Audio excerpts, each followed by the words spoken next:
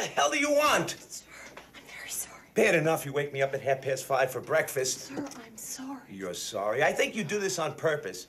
What's your name? I'm going to report you. My name is Amy Keating. Good night.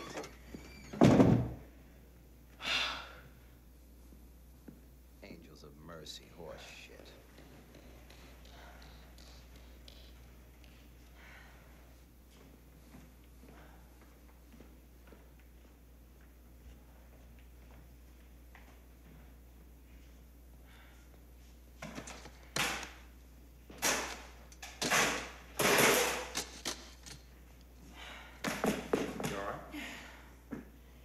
Yes, I'm, I'm fine. I'm just a little jumpy.